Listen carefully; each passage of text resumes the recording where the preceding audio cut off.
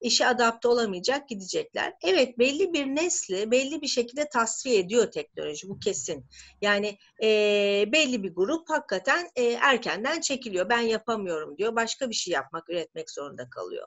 Ama her yeni gelen teknoloji kendisini kullanacak, kendisini üretecek ve kendisiyle birlikte hareket edecek bir gruba ihtiyaç duyuyor. Bir akla, bir zekaya ihtiyaç duyuyor.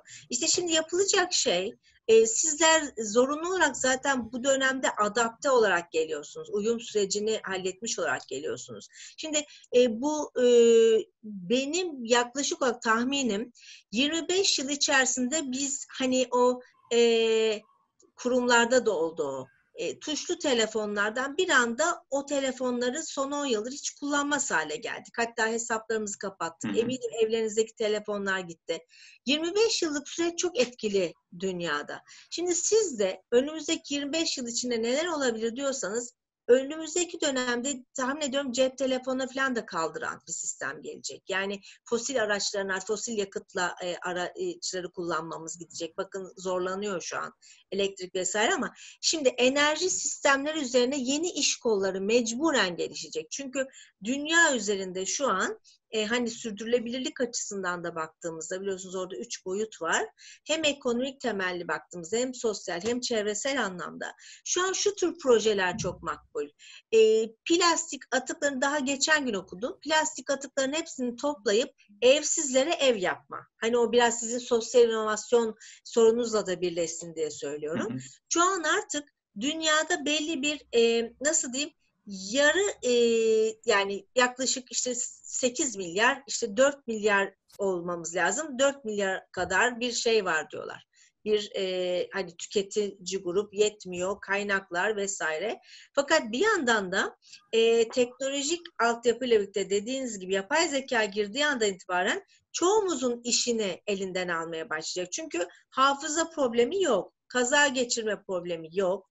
İnsana verildiği gibi bir zarar söz konusu değil ve şey hani öyle yemek yemek işte onun için çabalamak veya e, evine kira ödemek zorunda falan bu tür şeyler yok. Bir grup yani ağır sanayinin özellikle çok işine gelecek belki yapay zeka ile çalışmak. Bu kesin. Mesela ben size söyleyeyim. En başta madenciler gibi hani çok ağır koşullarda çalışan hani 30 yaş, 35 yaşına e, doğru hakikaten hastalanmak zorunda kalıp e, bu işleri yapan bir grup var dünyada. Çok yüksek sayıda ağır işçi olarak çalışıyorlar. Ağır sanayi işlerinde çalışıyorlar.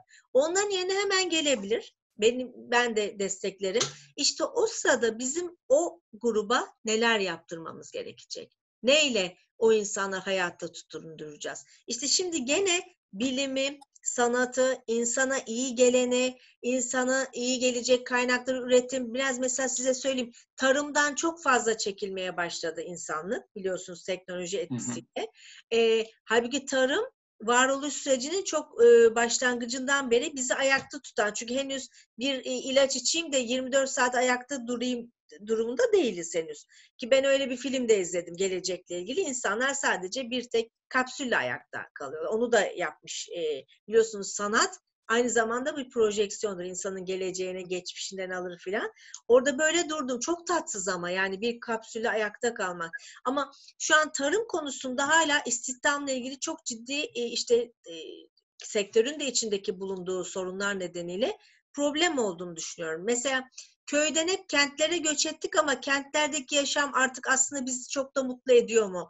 Bunu da sorgulamamız lazım. Onun için hem ülke bazında hem de dünya bazında e, bu işleri insanla birlikte teknolojiyi barıştırarak bir arada sürdüren ülkelerin, mesela Hollanda case'i birazcık ona yakındır biliyorsunuz. Hem tarımla barışıktır hem de e, istihdamla ilgili problem yaşamaz. Hem e, de dünyaya satar. Hani e, bir anlamda ihracat anlamında da iyi bir takım şeyler yapan ülkelerden bir tanesi. Şimdi e, onun için bize de çok iş var benim gözlemlediğim. Çünkü çok köy boşalttık biz. Çok kente yığılmacı yaşadık. Kente gelip 2000 lira kazanıp 2000 lira kaza ver, e, kira verip açlıkla yaşamak durumunda kalmak yerine bence yeniden köyde kalkınma projesi yapmak lazım. Belli grup e, insanımızı rahatlatacak oraya da yaşamı tekrar kurmak. Ama ne gerekiyor onlara? Neyle mutlu olacaklar? Doğayı biliyorsunuz koruyarak, e, toprağı belki farklı bir hale getirerek işte çok ciddi bir zihniyet değişimi gerekiyor. Onu yapmazsak dediğiniz gibi işsizlik rakamlarının arttığını görmeye devam edeceğiz. Çünkü yok ben dönmem, ben e, ne olur işte yaşamaya razıyım, e, aç da kalırım ama burada oturacağım inatlarımız sürerse o zaman o e, hem ulaşımda sorun yaşayacağız çünkü henüz havadan uçar hale gelmedik. Yani ona daha var ama gelecek. Ben size söyleyeyim. Yani bir önümüzdeki 20-25 yıl içerisinde her türlü e, insan şeyi kullanacak. Yani e, uçarak gitme. Hatta şimdi CERN deneylerinde ben şey bile bekliyorum. Hani o e, uzay 1999 var. ışınlanırlar oradan oraya falan. Ya buralara gelecek insan. Tamam ama gel de ne yapacaksın? Bir anda yani şöyle mi yapacak? Ben şimdi bir anda buradan e, Japonya'ya gideyim. Orada çok önemli bir şey e, tespit ettim. Toplumsal anlamda bir ihraç malzemesi buldum. Bizim ülkeden onu girişimcilik yapıp oraya satayım. Bunun için mi ışınlayacak kendisini?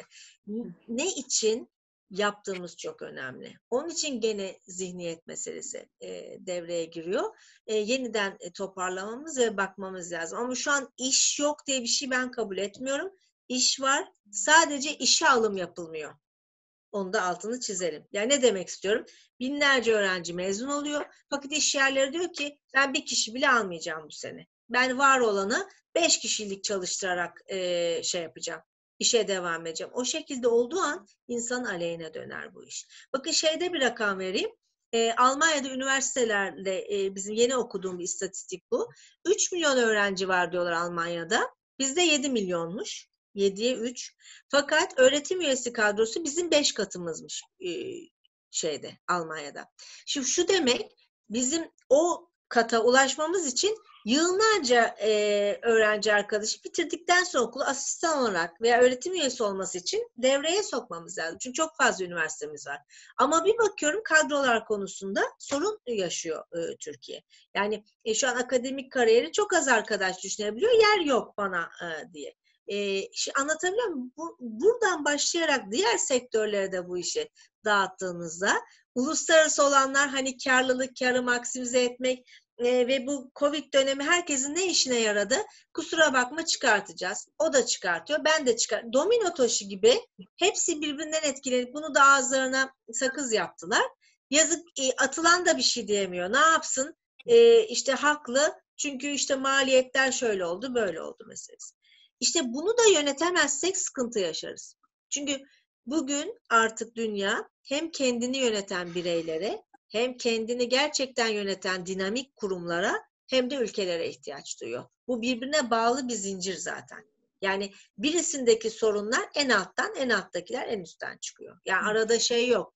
Bana ne, e, o ne yaparsa yapsın, bize ne diye bir şey diyemezsiniz. Yani Amerika mesela şu an evsizlerin varlığıyla ha, Covid e, onları yıksın, bize dokunmasın mantığıyla yaşayamaz. Gördünüz neler olduğunu. Ya da Avrupa keza. Böyle bir şey yok. Ya da e, şimdi mesela yeni üniversiteler orada diyormuş ki yurt dışından gelen öğrenciler geri gitsinler. Zaten online'ınız Amerika'dan gitmeleri isteniyormuş. Bütün üniversiteler ayağa kalktı. Olur mu? Biz onlarla varız. Biz onun için renkliyiz. 72 millet yan yanayız. Onun için Amerika izliyor. Yani varoluşumuzu da sorgulayan bir noktaya geldi artık. iş dayandı. Ee, onun için e, size söyleyeyim eğer iş üretemiyorsak sorun bizdedir. Robotta, yapay zekada falan değil. Yapay zeka şunun için var. Evdeki bulaşıkları bulaşık makinesi yıkamış yapay zeka. Aynı şey. Yine makine evde biliyorsunuz. Çamaşır makinesi. Siz o çamaşır makinesine e, devrettiğiniz andan itibaren size kalan zamanla ne yapıyorsunuz? Mesela o. Şimdi çok şükür hala ütü var da zaman çamaşır yıkamakta bitmiyor. Ütü de kalkarsa ne olacak diye gelmek lazım. İşte camı da silerse, yemeği de yaparsa, şey anlat, anlatabiliyor muyum? Üretime geçeriz o zaman. İşte evdeki işler bittiği zaman biz ne yapacağız? Ha diyorsanız ki daha çok üretirim, daha çok ya da yeni bir girişimcilik meselesine kafa yorarım ya da bilmem ne dediğin gibi ülkesindeki bir önemli bir dersten bir şey alır, o şirketle işbirliği yapar çalışırım. E tabii ki evde robot çalışsın o zaman çok mantıklı. Haksız mıyım? Yani e, böyle olursa dünya ve insanlık kazanır size söyleyeyim. Ama biz çaresiziz. Bunlar gelip işi bizim elimizde. E, yapay zeka kim geliştiriyor arkadaşlar? Kendi kendine mi gelişiyor? Gene bilim ve insanlık var ediyor onu. Onun için de kendimizi yani Nasrettin Hoca hikayesi kendi bindiğimiz dalı kesmeden bize yardım edecek unsurla yapay zekayı devreye almamız lazım. Ama daha kötü bir senaryo var. insanın aleyhine gelişecek deniyorsa e, o da Star Wars filmine götürür bizi. Hani beyazlar, siyahlar, e, evet. hadi dünyaya kim hükmedecek? E, o zaman da size söyleyeyim gene tarafınızı seçmek zorundasınız. İyi tarafta mı olacağım, kötü tarafta mı olacağım? Çok e, iyice siyah beyaza ayrıştı dünya farkındaysanız. Yani hakikaten iyilik ve iyilik üzerine kurulu değerlerle hani hırs, rekabet, başkasını e, silme, hep ben var olayım, bencillik değerleriyle birlikte e, kapitalin de işine geldi bu. E, biliyorsunuz bu bencillikle birlikte o sistem bunun üzerine yürüdü. Çünkü dikkat edin dışarı çıktığınız zaman arabaların fiyatlarına, evlerin fiyatlarına bakın. Özellikle İstanbul'da olan arkadaşlar için söylüyorum. E, bir insanın kazancıyla normal bir iş yerinde kazanarak onları alması mümkün değil. Peki nasıl olacak? Ve onu da görüyorsa bir yandan da e, bugünün e, teknolojik araçları sizin gözünüze bir takım varsıllıkları şey yapıyor. Siz kendinizi nerede durduracaksınız? Nerede bir tamam diyeceksiniz bu işe? İkna olacaksınız. Ya da şöyle mi diyeceksiniz? Aa Aykut'un var niye Aybike'nin de yok mu? İşte o zaman o kavgaya girdiğimizde birileri işsiz kalmaya hakikaten devam ediyor. Ama ne zaman ki biz dersek ki Aybike işten çıkıyorsa biz de çalışamayız ama kapıda kler de demeyecek. Bir an önce Aybike gitsin de onun yerini ben alayım. Bakın nereden sıkıştırıyor görüyor musunuz? Birilerinin ölmesi, birilerinin gitmesini isteyen bir insan zihniyeti ne e, dünyayı hapsediyorlar. Bu şeyle, bu çarkla. Ee, onun için de insan birbirine iyilik yapan, dayanışan, işbirliği yapan değil.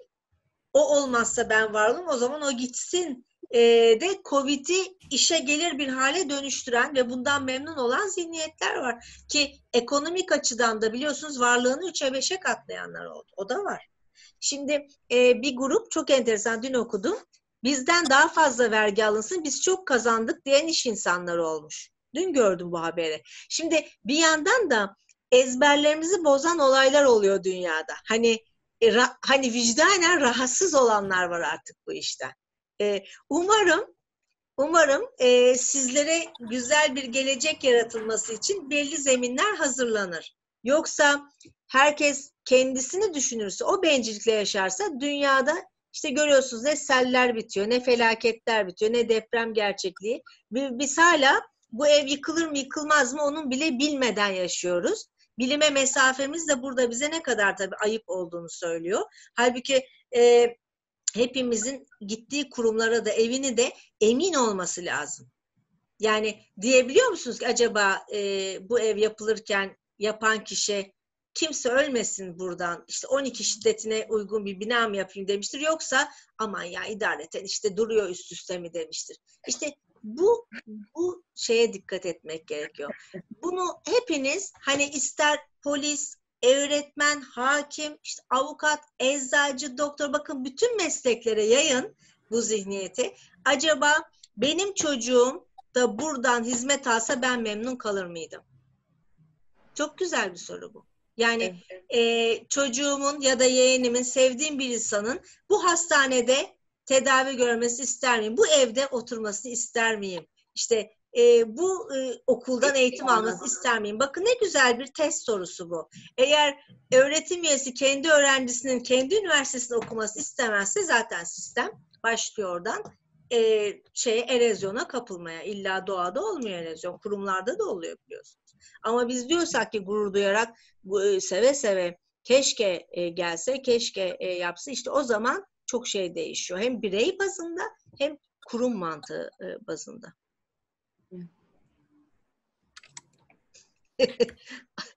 Aybike e, şeyli yorum verdin. E, bunlar benim tabii ütopik düşündüğüm taraflar.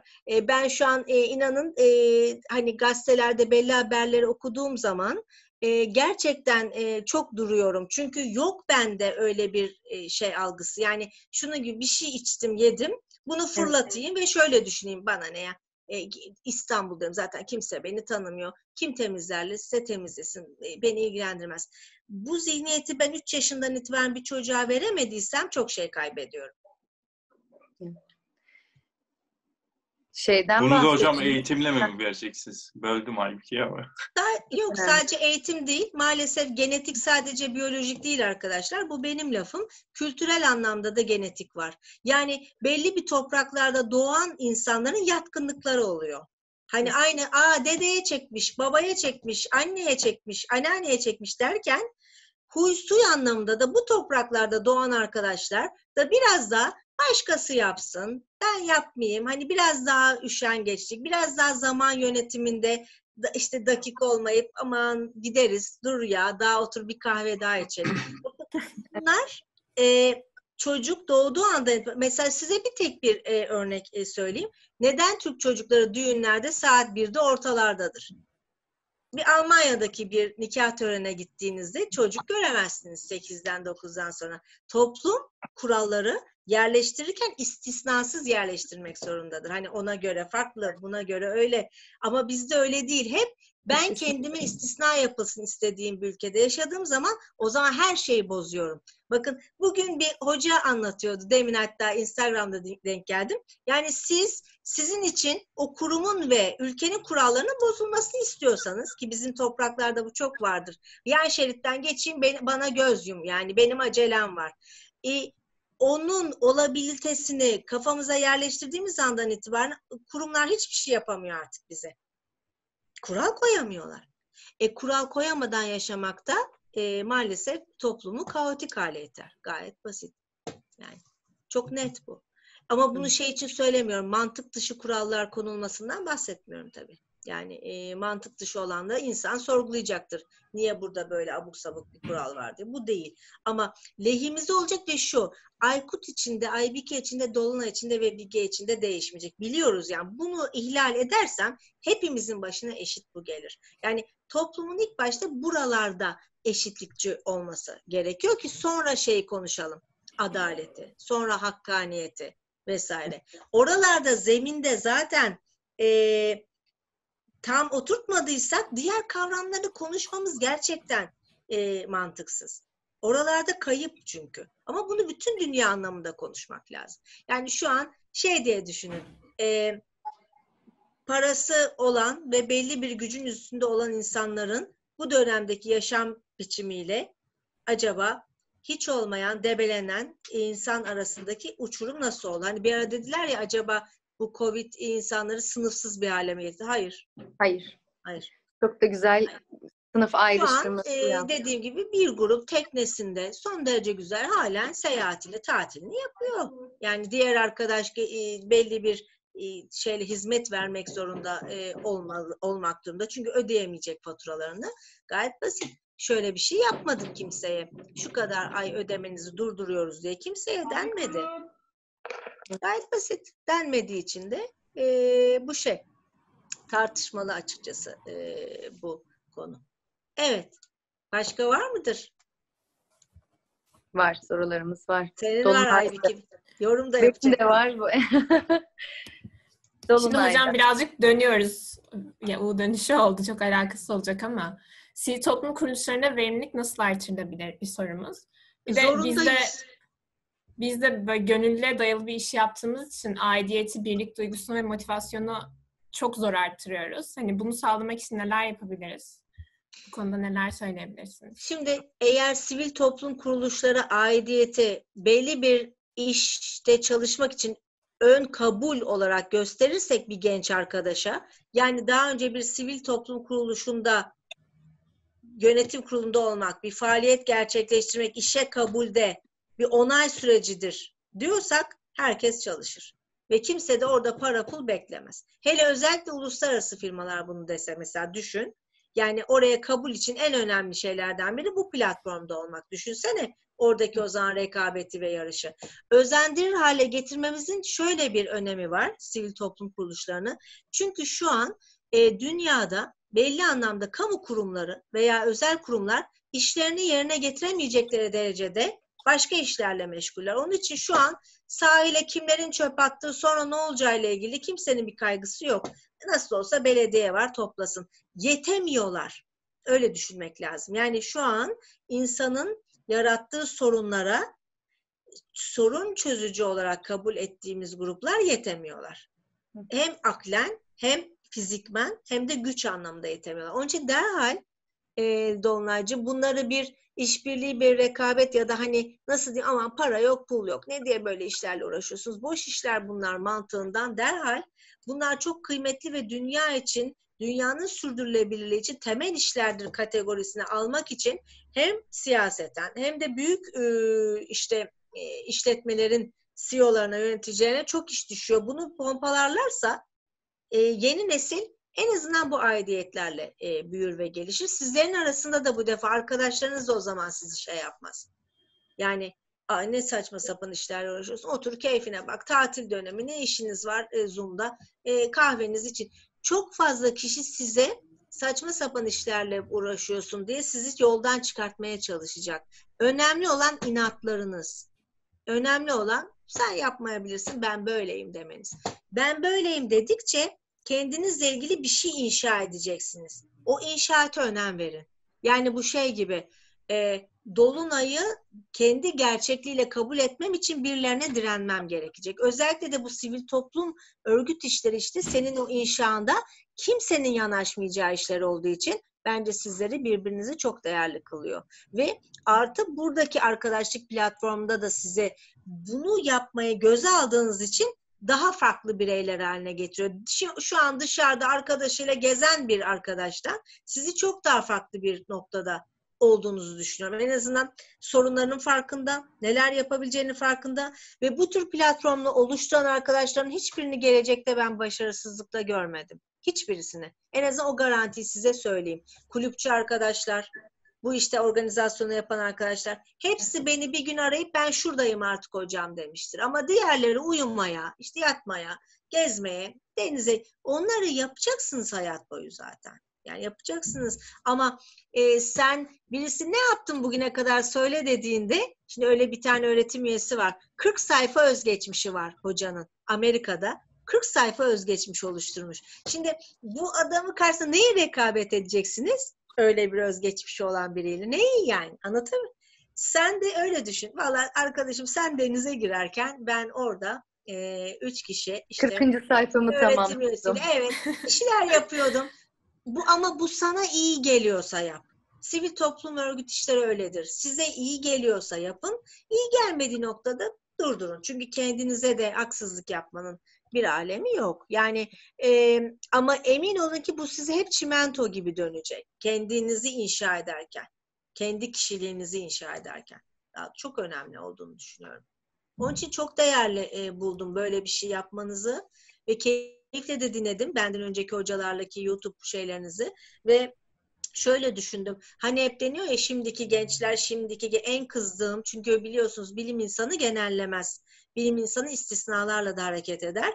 Hep şunu dedim. Kendi öğrencilerimden de bildiklerim var. Hayır içlerinde öyle gençler var ki ileride sizler onların varlığına şükredeceksiniz. İyi ki onlar var ve bunları yapıyordu. Ben farkında bile değilim diyeceksiniz. İşte siz onlarsınız. Öyle düşünün. Bu çok önemli, çok değerli. Teşekkür Ki ederim. nasıl peki arkadaşlarınızı nasıl çekebilirsiniz? Bu deneyimlerinizin bir işe yaradığını dediğim gibi belli platformlarda geçiş koşul olduğunu öğrenenler siz istemeden gelecekler zaten. İşte o o zihniyeti yukarıdakilere sağlamak lazım. Kamu kurumlarına da, özel kurumlara da. Teşekkür ederiz hocam. Şimdi sosyal inovasyondan biraz bahsettiniz az önce de. Ee, Benim merak ettiğim tam olarak nedir sosyal inovasyon dediğimiz ve firmaları bu yönde icraatlar yapmaya iten faktörler nelerdir? Bunlardan bahsedebilir misiniz? Şimdi bak inovasyon şu demek. Bir yerde sorun varsa çözüm için bir zihniyet inovasyon ama aynı zamanda para kazanmakla ilgili bir iş inovasyon. Yani siz bir üretim ağı, bir çözüm ağı yaratıyorsunuz ve insanları e, bir şeyin yapışını değiştirerek, farklı bir hale koyarak, kolaylaştırarak, zaman kazandırarak, para kazandırarak, değer katarak daha başka bir platforma çekiyorsunuz yapılacak herhangi bir işi. E, süreçleri değiştiriyorsunuz. Yeni iş modelleri oluşturuyorsunuz vesaire. Ama sosyal inovasyon dünyada şöyle düşün. Nobel ödüllerine baktınız mı? Özellikle ekonomi alanında böyle çok küçük paralarla bütün dünyaya çok önemli katkıda bulunan Nobel ödülleri almış ekonomistler vardır.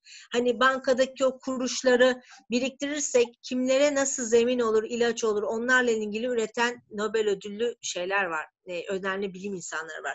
Sosyal inovasyonda şöyle bir şey. Yaşadığım toplumda hele Türkiye gibi ülkelerde çok ciddi sosyal problemler var. Nereye baksanız çarpıyorsunuz.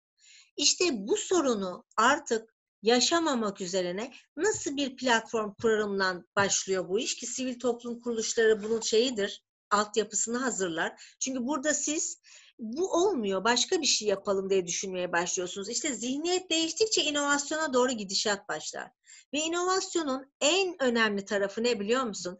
Mavi yakalı ya da işletmede çay taşıyan arkadaştan tutun da en tepedekine kadar görüşünden bir şey çıkar.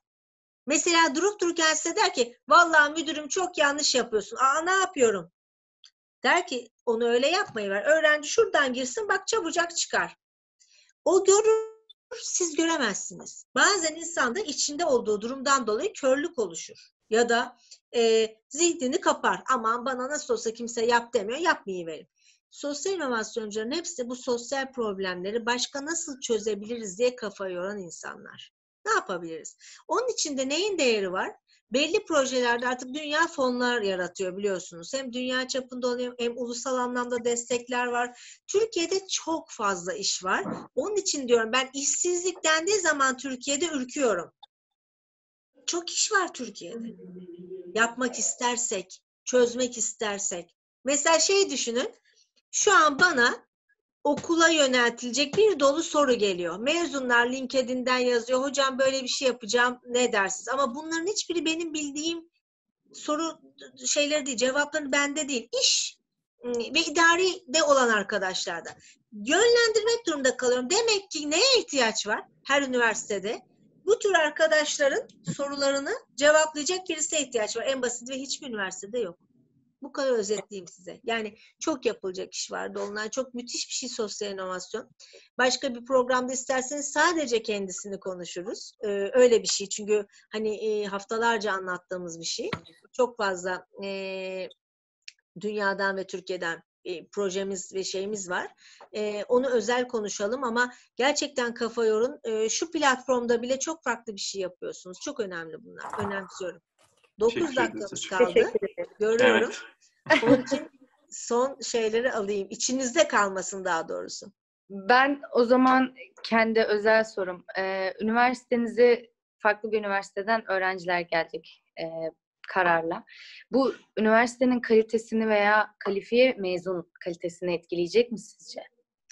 Ben olsam e, belki şöyle düşünürdüm. Evet şu an e, çok başka konjonktürde kimsenin istemediği bir durum çıktı. Eminim oradaki arkadaşlar da bundan çok mutlu değiller. Çünkü bir seçim yapmışlar. E, oradaki öğretim üyelerine ne olacağı ile ilgili hiçbir fikir yok. Ben isterdim ki belli binalarımızda, belli yerlerde onlara kendi içlerinde bir yer verelim. E, ve onlar aynen kendi e, şeylerine devam etsinler.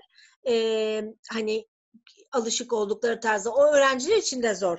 Çünkü orada sevdikleri belki belli hocalarda, belli aldıkları Bölümleri dersler var. olmayanlar da varmış. çünkü. Var. İşte şimdi durum karışık ama şu an net bir fikrimiz olmadı. Henüz karşımıza gelmediği için e, yani biz tabii çok kitle e, şeyine alışkınız. Benim için dediğim gibi ben bir dönemde bin kişinin üzerinde insan görüyorum zaten. E, yani alışkınım kitlelere ve nereden gel bazen çok farklı yerlerden geliyorlar.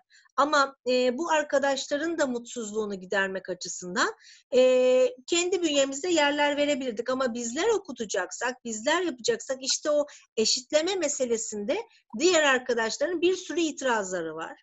E, bunlar da açıkçası e, YÖK'ün cevap vermesi gerektiğini düşünüyorum. Yani hepimizi aşıyor hakikaten. Ne desek boş.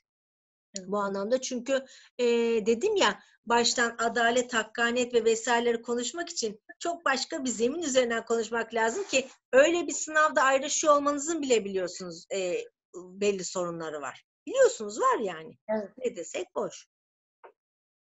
Ben de geçtim o yoldan öyle. Bir günlük Evet. performansınıza göre biliyorsunuz kaderiniz etkileniyor. Belirlenebiliyor. Aynen. Başınız ağrısa bitiyor yani. Düşünsenize. Bir de şey var ya Türkiye'de kaydırdım o yüzden kazanamadım. Benim en sevdiğim işte bunlar pratik zekalı bir ülkenin Kriz ilgili ya da şey hoca hoca her zaman hoca kafaya takandır. Ee, kendisi hiç kimse itiraf etmez niye o 5-10 puan azaldığını. ben ben almadım. Hoca verdi. Kesin. Biz öyleyiz işte. Onu diyorum. Peki. Var mı başka? Son Hocam- sorumu sorayım mı Aybüke sen mi geçmek istersin? Sen sorabilirsin. Tamam. Ee, Dünya devi kurumsal şirketlerin inovasyon ve sürdürülebilirlik, an- sürdürülebilirlik anlayışlarını nasıl tanımlarsınız?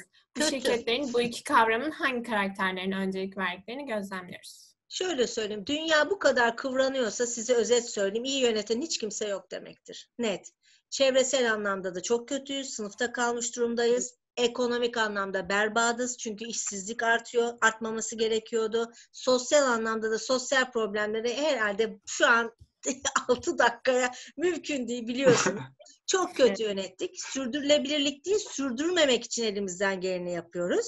E, ve ben dünya, e, umarım e, başka bir planı yoktur. Yani bir anda kendimizi böyle bir kara deliğin içinde falan bir sefer uyandığımızda tümümüzü yok, e, valla yok edebilir. Çünkü o kadar kötü davranıyoruz, o kadar e, e, şey Haksızlık hani ediyorum. ben sizi bunun için mi yolladım falan diye biri hesap yola, sorabilir hakikaten. Böyle bir şeyin hem sosyal anlamda hepimizin birbirine verdiği zarar hem çevresel hem ekonomik e tabii hem gelecek nesilleri çok kötü bir dünyaya doğmalarına neden oluyor. Halbuki her şey olan bir dünyada yaşıyoruz. Bunu unutmayın. Yani e, mesela dün bir açıyorsunuz Heybeliada'yı yanarken görüyorsunuz. Halbuki bu ülke şu an dikkat ederseniz nemin, iklimin zorluğun en büyük nedenlerinden biri bu kadar betonda yaşıyor olmamız.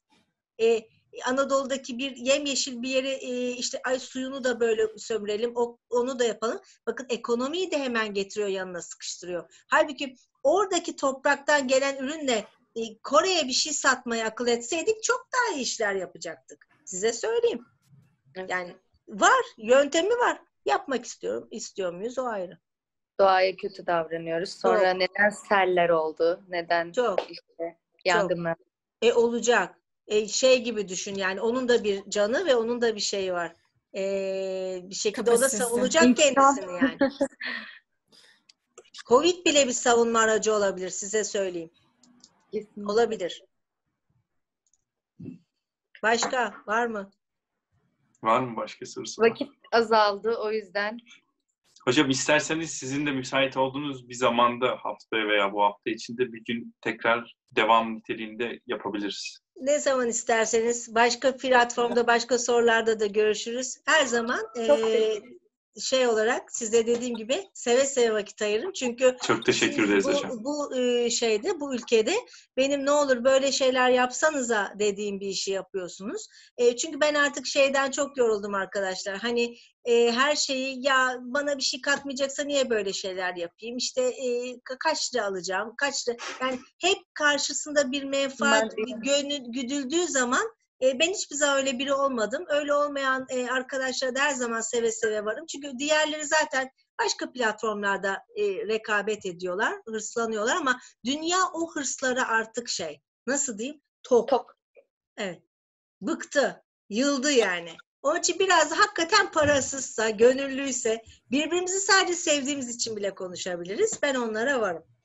Çok için Çok teşekkür ederiz kalın. hocam. Çok teşekkür Sağ olun hocam. ediyorum. Çok Çok teşekkür iyi keyifliydi. Teşekkür ederiz. Görüşmek Hoşçakalın. üzere. Görüşmek üzere. Tamam, sağ olun. Haberleşiriz. Tamam hocam.